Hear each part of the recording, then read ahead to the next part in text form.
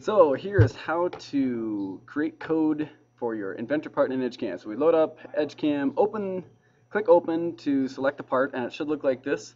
It's a side view. If I right click, I can rotate this so that I can see a little bit better. Uh, we, using the hand clamp, we need to set our 000 in this corner. So to first do that, we need to auto stock. So that should be the button that looks like this. It might not be in this location, but it should look like this. Yours might be on the right hand side and ooh, it just did it automatically for me. Occasionally it does not do that. It opens up this menu and then you need to make sure that this is checked and then you click OK. Uh, now it looks like I've stocked it twice so if, if you've done that just delete one of them. So here is my stock. Uh, at this point we need to create our CPL so that's in geometry create CPL and click origin name it whatever you want this is my favorite name APDSTY. Uh, then go through three points. Uh, this means the name doesn't matter. Whatever you type in there is fine. Uh, you just can't type the same thing in twice if your CPL uh, makes a mistake. So I'm going to click OK.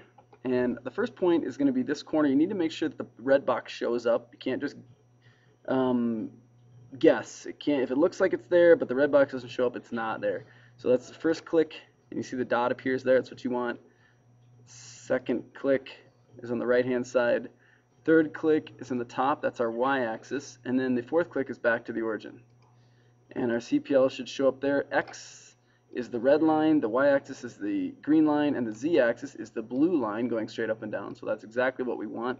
Then the last thing that we do is Feature Finder, which is this button up here, the little glasses. And we're going to click Mill. And what we're going to look for if you have holes drilled in it, you need to select Find All Holes, max diameter 0.5, and these uh, options are, are good. For milling, you want 2D Pocket, 2D Boss, 3D Pocket, 3D Boss, and that should find everything we need. So we're going to click OK. And it found all the features. There's the outside lower part, here's the inside, or outside edge, and here's the inside pocket. If it doesn't find them, you just got to open it up, you got to start it over, you got to recreate your CPL, and try it again. If your CPL is slightly off or you thought you clicked something and you didn't, it won't find your feature, so you're going to have to redo it. Once we've done the CPL, you click manufacture mode. If you click this too early, it will create your CPL for you in the wrong place. It won't work. So we should be under discipline mill, machine tool ProLite. If one of if ProLite's not in your computer, I need to load it into there. Then we click OK. And loading, loading, loading, loading, loading. And loaded.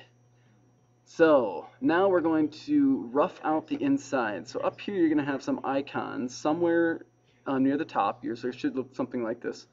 Uh, this one is roughing. So we click roughing. And I want to rough the inside. So I need to go over here to my features and find out which one is the inside. So which one is it? And yes, you're right, it is 2D Pocket. So I click that and then I push the enter key once and I push the enter key twice. And so you click that section, you push enter twice. Um, then you're going to set your roughing operation options. Uh, we're going to set ours to optimize so it cuts in both directions. You can see the little arrows both directions, whereas this is one direction. 50% uh, step over is fine. Tooling a feed rate of 20 um, is probably fast enough to rough. We don't want to go, 30 might be a bit too fast.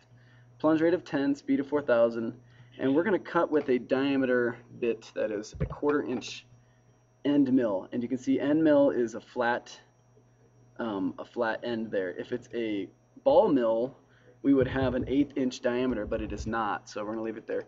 Do not go to your tool store. That's going to screw everything up. Um, and our depth, we have a clearance of 0.25. Your cut increment is going to be defined based on the object that you cut. A general rule of thumb is not to go more than the thickness of the bit, so don't go more than 0.25. Um, so what you should probably set this to is an even increment of your depth. So if I'm cutting at 0.6, 0.6 divided by 3 is 0.2.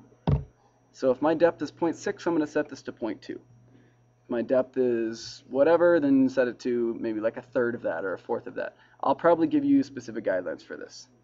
So I'm going to leave it at 0.22 for now because I think that's about a third of my current depth.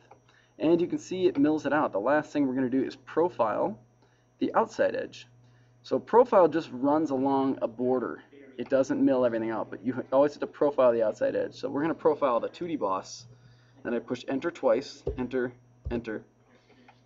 And my profiling tool, it's going to be the same. Optimize is fine. We need a lead radius of zero. Um, we don't want this to, to zoom out of the box, so we don't want to hit the clamp, so 0 is fine. Tooling 20, 10, a speed of 4,000 again. Same diameter, no radius. And set your cut depth to about a third of the depth, or maybe a half of this depth, just as long as it's not more than 0.25. So um, I can't remember what it is for our box here, but I'll probably give those guidelines somewhere. So I'm going to set mine to 0.15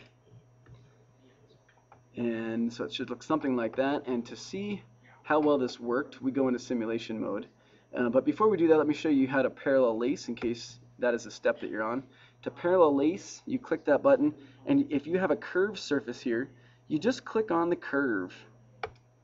And then you push enter twice and then it will it will just match every curve that you have in here we want this again to be optimized percent step over 25 percent and tooling is 20, 10, 4000.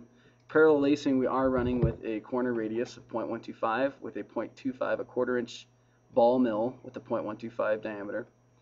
And then um, clearance of 0.25 level and depth can be as they are. And you can see that that one will follow the path. If we look down here, it follows the path of the actual cut here. It's kind of cutting in and out. That's not going to get very precise, but for a curved surface, it's going to end up looking pretty good.